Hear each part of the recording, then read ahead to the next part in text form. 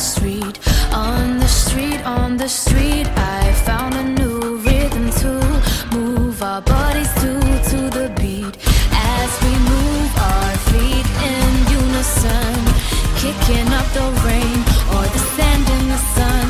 It gives my heart that feeling could be anywhere, anywhere in the world.